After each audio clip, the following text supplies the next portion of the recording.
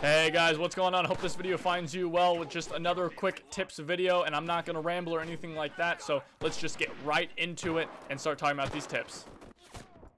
First up is the quick melee, guys. If you hit the middle mouse button, you'll do a quick rifle butt and if you click the right stick in on console you'll do it as well. So the great thing about this is you can finish off enemies who have been down. So right here you'll see I just do a quick little melee to that guy and finish him off.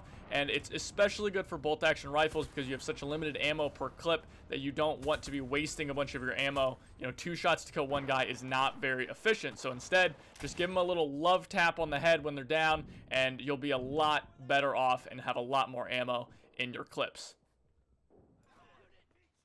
Next up is bracing. If you go prone or you're against a ledge or a windowsill or a wall or something like that, you can press B and brace your gun against the ledge that you're on. It is really finicky though, as you can see here. I kind of couldn't find that spot and then I ended up getting shot and killed because of it, which sucked.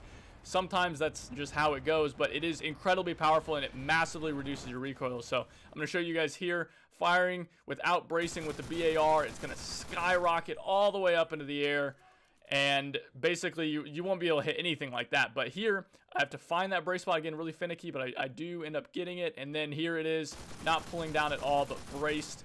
And you have zero recoil. So again this is so ridiculously powerful with LMGs if you manage to find that sweet spot and you're in the right position right time you can just take down entire squads like they're nothing Next up is magazines, guys. So magazines are stored and enlisted. So as you see, I reload from 20 and I go to 14. And that's because my next biggest size mag is actually just 14 bullets. And then I go 0 to just 20 and that's because I you know just reloaded that magazine with 20 bullets in it so the magazines are stored they are tracked and enlisted so once you start running out of ammo and you don't have full magazines left you're going to start loading those previously you know reloaded magazine. so if you if you start running out of ammo be aware that the mag you're loading in now might not be full all right, next up is quick throwing grenades, guys. A lot of people already know this, but if you hit G, you will actually just quick throw a grenade as opposed to having to hit 5 or, or scroll through whatever it is on console and pull out the nade and then throw it, which takes a lot more time and isn't nearly as efficient or anything like that. So, again, just hit G. You can also throw the other grenade types with, uh, I think, N um, we'll throw explosive packs, and I think like comma or some garbage We'll throw smoke grenades. That's not nearly as useful as grenades because with grenades you can do stuff like, you know, right there, just throw it into a building real quick, run around the corner, or maybe in, you know, D-Day you can toss a nade into a bunker, jump around the corner, it goes off, and then you run in, finish off anyone who is still alive. Stuff like that is really, really effective, and when you want to be using the quick throw for the grenades. Now this one here is a double tip. So number one, pay attention to your surroundings. Listen for gunshots. Listen to specific gun sounds. And number two, pay attention to that kill feed. So as you can see here, guys, I heard that autocannon firing. I saw it fly across my screen. And in the kill feed, I saw a 20 millimeter cannon. And that means there is a T-60 prowling around over here somewhere. I don't quite know where, but I know his general area, which means I'm going to be able to outflank him and take him down. And this is also important whenever you're in a plane. You can see if there's enemy planes getting kills with those big rockets or bombs or things like that. Now you know, okay, there's a plane around, I need to be careful.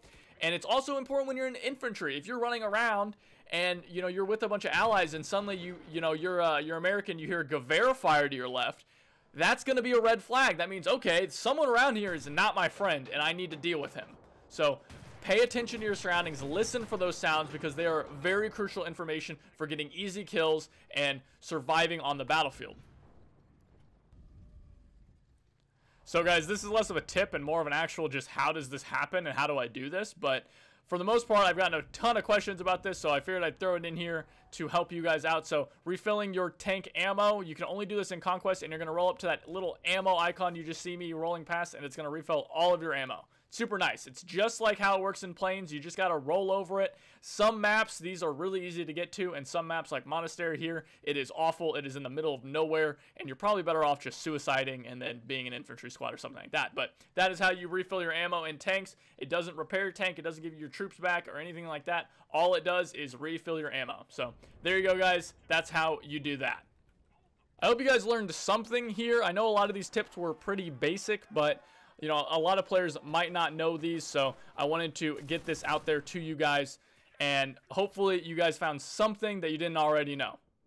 If you guys enjoyed the video, please remember, as always, to like, comment, and subscribe. Seriously, it does help me out. We just hit 3,000, which is unbelievable to me. We'll see where we're at in a month from now, and it's going to be absolutely incredible. And remember, guys, you can always come over and hang out with me at twitch.tv slash heyquadro, chat with me, play some games, you know, so on and so forth. And you can also join our community Discord. The link for that is down in the description. And I'll see you guys next time.